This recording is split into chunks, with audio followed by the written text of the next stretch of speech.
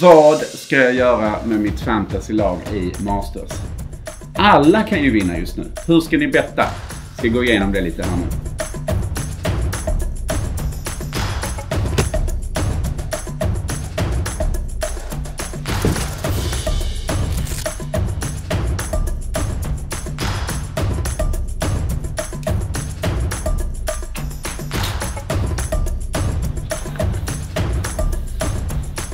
Data Golf säger att det som är viktigare på Augusta National än på en vanlig PGA Tour-tävling, det är tre saker. Det är driving distance, det är approach och det är around the green. Att slå rakt är betydligt mindre viktigt än på en vanlig PGA Tour-tävling. Och puttning är viktigt. Men inte mer viktigt än vad det brukar vara på PGA Tour. Sen gäller det att slå bra järnslag för att undvika treputtar. Men det har inte med puttningen att göra. Det har med approach-spelet att göra. Så därför så ska vi dyka in i de tre statistikkategorierna först. Då börjar vi med strokes gained approach, alltså hur mycket tjänar en spelare i förhållande till startfältet i övrigt på PGA-touren i år. Totalledare är faktiskt Tom Hoagie, men sen skulle jag säga det kanske är en outsider, men sen kommer de intressanta masterstipsen, en efter en. Colin Morikawa, Tvåa strokes gained approach total. Tony Finau, trea. Spelar alltid bra här. John Rahm, fyra. Max Homa, femma. Scottie Scheffler, sexa. Och sjua, Rory McIlroy. Det är helt sjukt plats 2 till 7. Alla kan ju vinna Masters. Hur ska man kunna välja? Men då har jag hört i intervjuer att det är approach play från 150 yards till 200 yards som är den stora grejen på Augusta. De har ju bara gjort den längre och längre.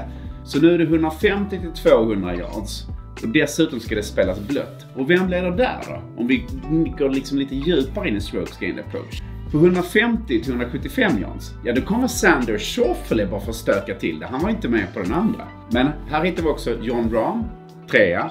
Spettan, Jordan Spieth är sjua. Scottie Scheffler 18 och Rory McIlroy 22 Men regn sa jag. Det är kanske snarare 175 till 200 yards vi ska titta på i år.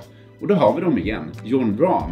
Och då dyker han upp. Sensationen från i fjol som kom tvåa, Will Salatoris, är femma på den rankingen. Colin Morikawa nia, Sander Schauffele tia, Rory McIlroy 17 och Tony Finau 19. Det är de här namnen som jag säger nu som är topp 20 hela tiden. Mycket intressant. Vi tar med oss det. Då tar vi titta på driving distance. Här är Rory McIlroy etta, så han ska ju liksom med. Eh, han tappar en boll här och där. Det spelar ingen roll på Agasta. På några håll gör det, men det ska inte spela någon roll. Cam Young, som jag inte har nämnt hittills, han är trea. En bra outsider att spela på kanske. John Rahm sexa. Scottie Scheffler 19.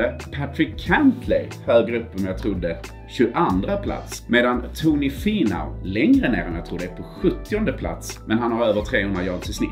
Så att eh, det säger ju en del om hur driving distance-utvecklingen har gått på pga tour Slå långt är en sak, men får ni bollen i hål och får ni bollen i hål på par femmorna, det är det som räknas på Augusta, eller hur? Par 5 scoring, och vem leder där? Med 4,33 slag i snitt på par femmorna. Jag blir knäckt på att höra det. Patrick Cantley är etta i den rankingen. Här har vi då tvåa John Rahm och fyra i Rory McIlroy. Delad femma är eh, Morikawa och Scheffler och sjua på par 5 scoring rankingen är Tony Fina. Många av de här namnen har vi hört i de här kategorierna nu. Par 5 scoring, driving distance och approach. Så jag tror i det gänget så hittar ni nog ert lag.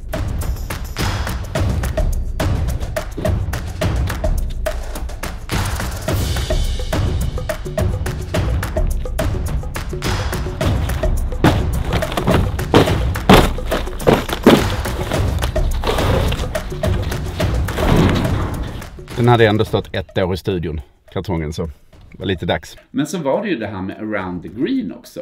Vem är bäst på att komma upp och i på touren? För det var ju en av de tre grejerna som Data Golf tog fram. Nu har jag ju pratat approach och driving distance, par 5 scoring. De två uddarna på eh, diagrammet. Men vi ska ta around the green som är lite viktigare än på en vanlig PGA Tour-tävling. Leder den statistiken i år gör faktiskt Jason Day som vi har ett lysande facit på Augusta National. Men eh, femma, delad femma, Max Homa, Scottie Scheffler. Jag har hört de namnen förut känner jag. Sen har vi då regnat. som prognosen säger att det är torsdag till söndag. Och jag har läst någon statistik för länge sedan att Rory McIlroy och Jason Day är de bästa regnspelarna vi har. Kommer det spela någon roll? Vet inte många faktorer. Men mitt fantasylag landar till slut i, eh, svårt som ögat är det. Men jag startar med Scottie Scheffler, Rory McIlroy, Patrick Cantley och John Rahm och sätter Tony Finau och Jason Day på bänken. Lite roligare bänk än vad det skulle kunna vara om man hade en Spieth eller Spieth hade ju varit roligt, men en Sander eller Och sen tror jag ju också lite på Dustin Johnson. Men som jag har tippat nu, nu tittar jag bara på PGA till Ranking, så känner jag liksom lite att formen från de banorna, de är liksom inte uppe i tävlingsform, LIV-spelarna. Men Cam Smith, Dustin Johnson, naturligtvis bra eh, tips i era fantasyspel också. Var med i Tea Party Fantasy, länk finns här nere. Och eh, kom ihåg att prenumerera på den här kanalen.